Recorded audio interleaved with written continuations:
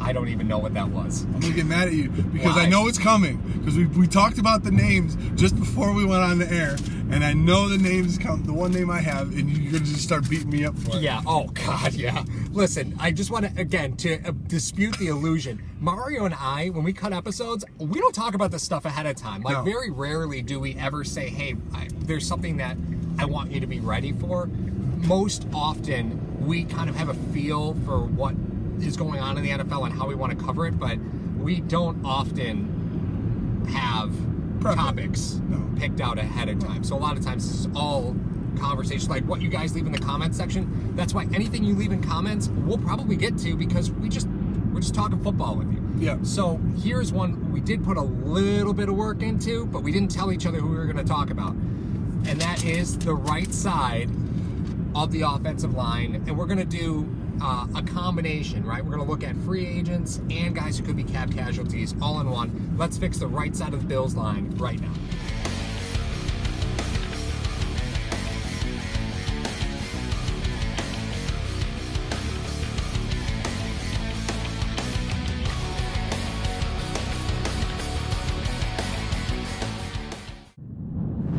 Make sure you hit that bell for more Bills news. This Yeah, point. they do not have a right if side of the line. if you happen to miss when we talked about the left side of the line, uh, I, I'm going to put a card in up here somewhere, so you can you can check that out. See uh, what the left side of the line, what we can do for it. I love how whenever Mario says what he's going to do, he turns into Vanna White. Isn't that great? She's still working. She's like 70. Yeah. Why not? Okay, Still walking heels, man. okay. The two. Strongest calves in America, Vanna White. Let's move on. So now I have a couple guys. I have six guys. Not really gonna. I do not have that many. No, I'm not gonna talk because there's nobody. There's it's nobody out there. It's a desert. Uh, a couple guys are free agents. A couple guys maybe cap casualties. So we're gonna like like Paul said, we're gonna just lump them all in. First guy I have right guard for Seattle, DJ Fluker, 27. I like that thought process. Okay, Right? he's a, he's a former first round pick Mhm. of Doesn't- Chargers. Yeah, I think that's Okay, he went to the Chargers. Uh, the admission at the park uh, for, for protecting yeah. Philip Rivers is very expensive. He did not meet that admission. He did not meet that admission. not as a rookie. you must be this tall. And apparently, Russell Wilson is about that Right, right. So he got to go to Seattle. Didn't play very much. Nope. All right, I think he's uh, he's played 19, played 19 games in two years. hmm So there's not a lot of tread on the tires. However, the guy was a former first round pick for a reason. And I don't want to say he's been a bust because I don't think you can constitute a guy as a bust while he's still playing in the league. So he still has a chance to do that. Uh, he's playing at a guard. Right, he's not. It's not like he was drafted as, as a tackle and Right. moved in. He was drafted to play guard. Right. So he's a guy who's just a hammer. hmm Why not? Why not just pick him up, have him be your hammer? I know Well, the I know the offense is changing. but- Right, but look at the teams that he came from, right? So we played last year in Seattle, who had to run the football. They had to run. Mhm. They just didn't have a choice. That offense was bad. They had to run the football.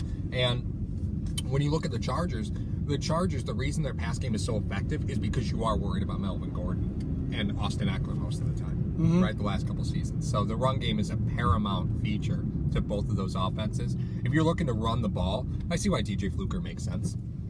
I get that. I would li- I would like to. Plus, he's a monster. Yeah. He's so He's a big dude. Freaking. He's a big dude. All right, I see your DJ Fluker, and this is free agent, right? Yep. AJ Cann from Jacksonville. He's 27. Now, if you look across the offensive line, AJ Cann is probably the weakest of the links in the offensive line. I will not doubt. I do not doubt that. He is not a good. He's not good at pass protection compared to your standard guard. But again, if you're looking at a mold of a guy who you just want to run the football, AJ Cann makes a lot of sense. Not only that, but he's durable, super durable. Get this. In the last four seasons, percent of snap counts 95%, 92%, 100%, and his rookie season was the lowest at 81%. He's Durable. only he's only ever missed like 3 games in his whole NFL career. Like it he is a guy that's just a road grader. Does, so the, does the tread worry you? A little bit. He's 27, so I'm not I'm not really worried about it. You know, uh, if we're looking to quick fix the line, AJ Cann. He's a durable piece. You can plug and play him. He's not going to cost you a lot. Um, and again, Jacksonville running the football is a pro, is a primary focus. for Yeah. So, um, I see your uh, DJ Fluke and I rate you AJ Cann. I what do you got so, next? so, so now we got run we got run blockers. I'm gonna Yeah. continue with that theme. All right. Are they ready for this? Oh, Arie Kouandjio you're fired. from Washington. No more Quandros. 16 games in the last three years he's played. Oh God, why are we even talking about this? Because he's 26 years old. He was the better Kouandjio. For better or for worse.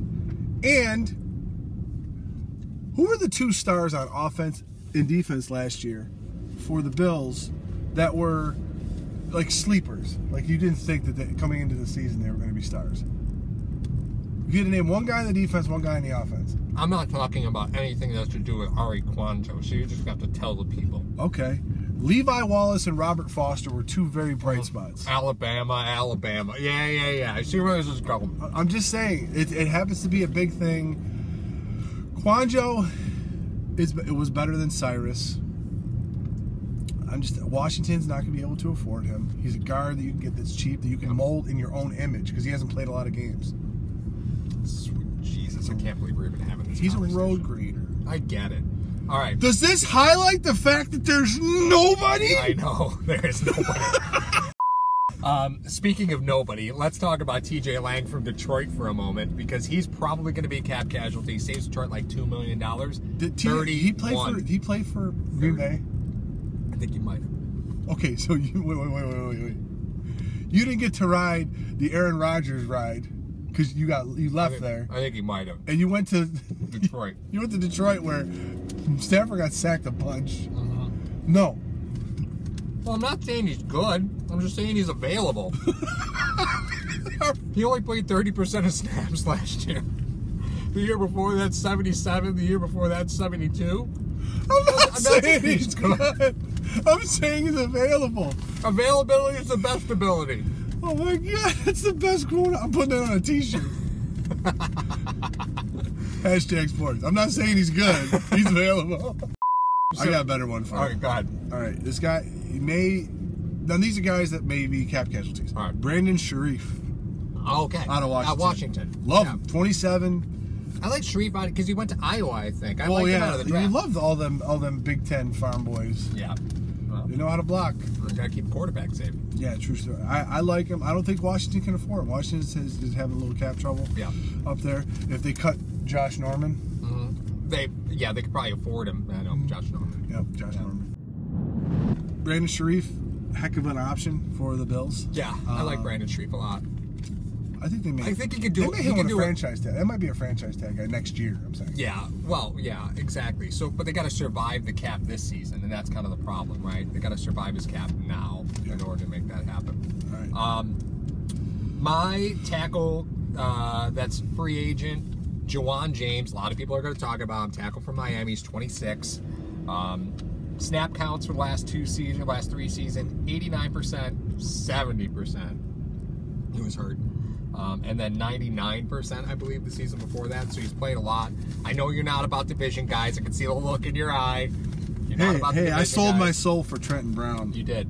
You did. So I'll do that. Um, and there have been two seasons over his career. He's missed half the season because of an injury. But this guy's primarily a pass blocker, a pass blocker. So if we're looking at fixing the right side, I, I'm okay. Okay. I'm okay with with with this, right? with that, yeah. Um, again, he's going to be a free it. agent.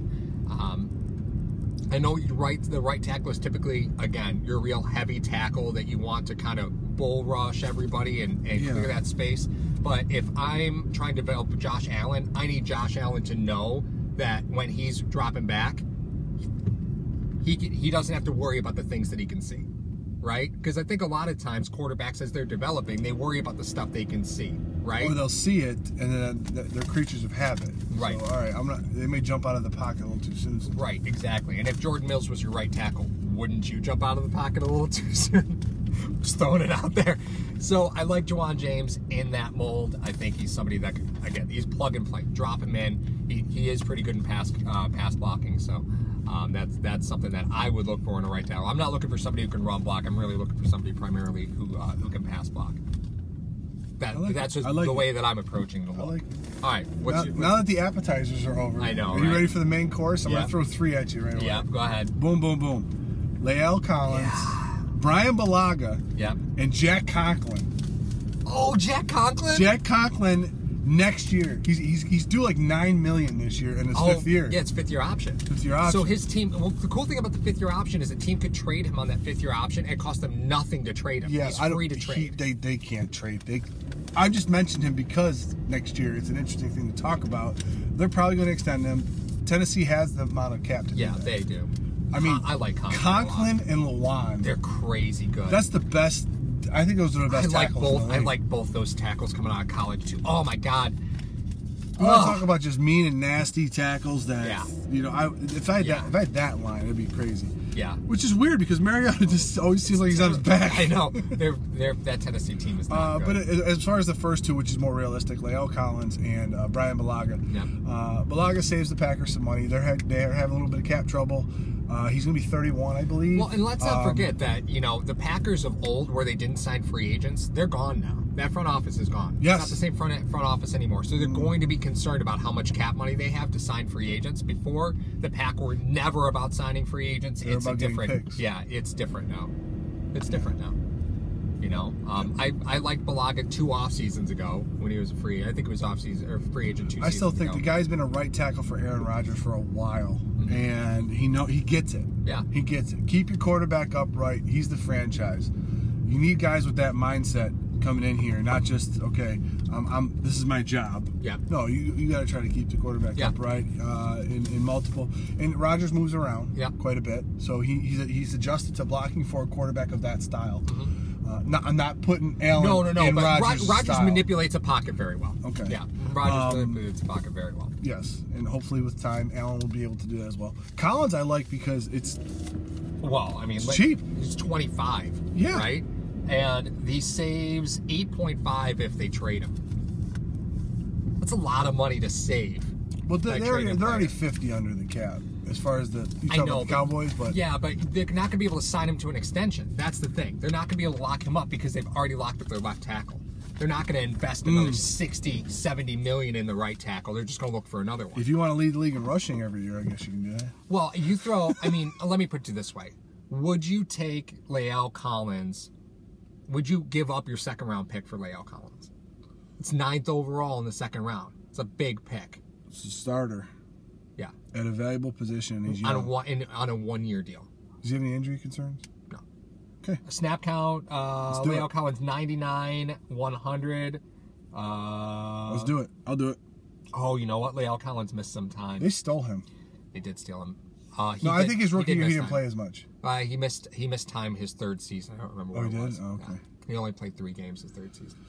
So I don't remember what it was. But would you give up a third round pick for him then? Maybe not a second round pick. Would you give up a third round pick for him? Well, if I'm willing to give up a second, then I give up a third. Yeah. So, Right. yeah, I, I, would do it. Collins, plug and play at the right side. He's he's good too. I think, if it's, you I think it's pretty much guaranteed. I, I would give up a second round for a left tackle. well, yeah. Okay. But the way that you said the offenses are changing now, it's pretty much yeah. both of those guys. Well, and also don't forget, Amari Cooper's a free agent next year. La'el Collins is a free agent next year. Like you got to make your choice here. Like you've already committed the resources to Cooper.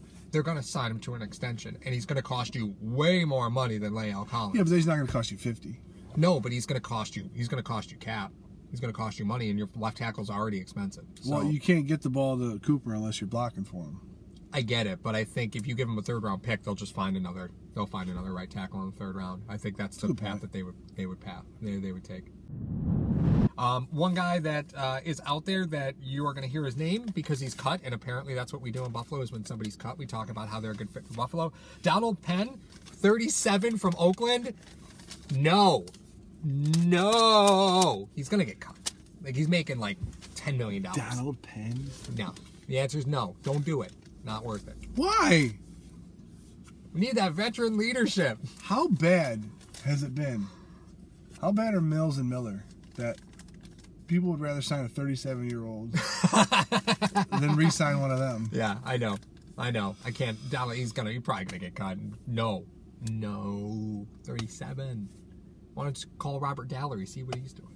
He's probably hanging out with Janikowski at a bar. Good old Janny. Yeah. So I think that fixes the right side of the line. I think you could piecemeal the right side of the line together with two of those guys. Those those are some scary options. You like the draft better, huh? No.